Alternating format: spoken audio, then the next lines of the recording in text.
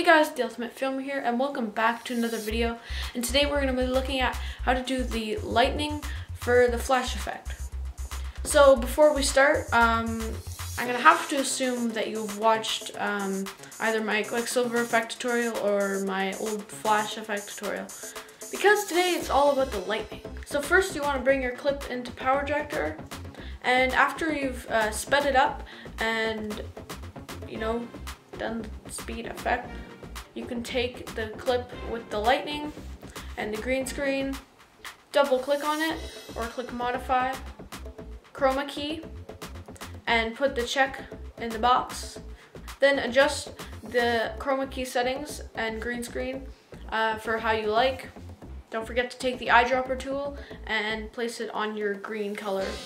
Great, now your lightning is keyed out. Now click on the keyframes for position and scale. Then throughout each frame of your actor running, just position them to be attached to the actor running. And then you've got your lightning attached. Then after you're done, hit save. And you can also duplicate this clip to make more lightning and keyframe the second one differently if you like. But that's it, basically. So thank you all for watching and I'll see you all later. Bye!